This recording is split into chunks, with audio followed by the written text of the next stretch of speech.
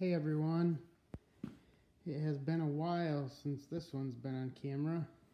This is the 98 uh, 520 XI Toro wheel horse and I've kind of got an unusual project for this one. It's common for me to put young kids on these tractors who are not so experienced and let them run around in the field with them. And this one just happened to have a young girl. She was about nine years old, maybe, or 10, and she could barely keep the seat switch happy and hit the go pedal at the same time and what happened was that she stalled it and kind of was standing up and basically broke the key switch. Just sheared the whole insides of it. Now the funny part about it is when you replace a switch normally you make sure that all the terminals do the same thing. But the terminals on the old switch were not labeled and um, all of the wiring diagrams that I've been able to find for this one are a little bit different than any switch I was able to find. Even the ones that said this is for a Toro XI um, still was just not quite right. So there are a lot of wires, there are fuses. I'm half tempted just to plug that switch in see what happens. But I don't really want to blow fuses and mess things up. So I think I'm going to get my meter out. So I have yet to get a manual out or look at any diagrams, but this is all just speculation right now.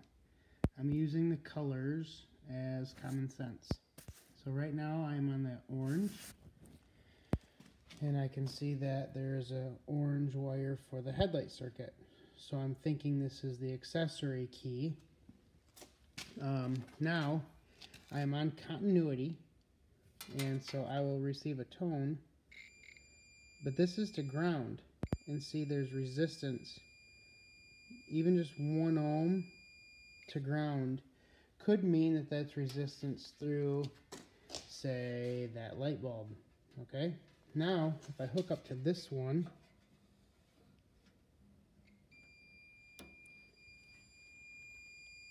I get an instant zero ohms. There's no resistance, there's full continuity.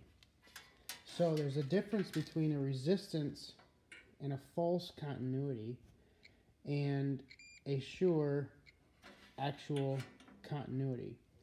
Um, so maybe if I were to disconnect that light and I believe there's actual live taillights, then maybe I would have no continuity um, to ground um, as far as my meter says. But I'm assuming that that is the light accessory, okay? And this one here is the 12 volt battery.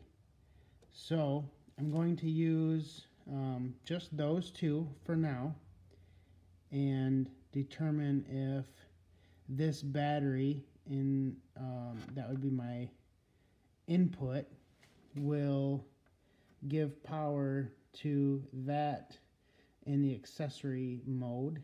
And then I'll figure out which one of these is the starter. And I believe this is a magneto style um, switch. So um, I don't think there's power to a coil. I don't know for sure. I will look into that. But um, one of those is probably a common ground and the other is also switched when I turn the switch off to ground. So um, that would tell me battery, uh, accessories, one of those is starter, and then I'm guessing one's ground and one is magneto. But like I said, that's all speculation. I will prove that before I just hook up a new switch. So I'm not normally a daring person, but I decided I'd just give it a shot. I had my battery and accessories circuit figured out and just figured I'd wing it on the rest.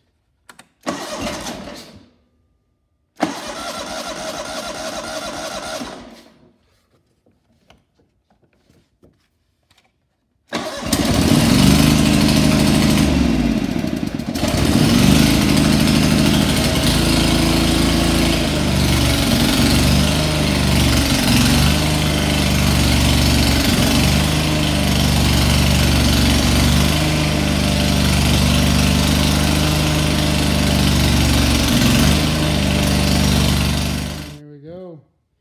We are all up and running, and that switch has been replaced. And I did accidentally break that hour meter clip while I was uh, installing everything. But for 798 hours, this thing runs very well. And uh, um, it should be above freezing another day or two here. And so I'm going to pressure wash this real good. I'll probably take all the screens and tins off that I can and get all that gunk out of everything. And uh, clean this up good. Um, still on the fence of what to do with it. I feel like I'm probably going to keep it and stick a front end loader on.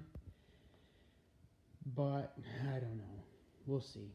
It'd really be cool to have a 1054 front end loader, but I think this is going to be the way to go. The battery was a little bit low after sitting for about two months, so I just stuck it on the charger and it's looking good now.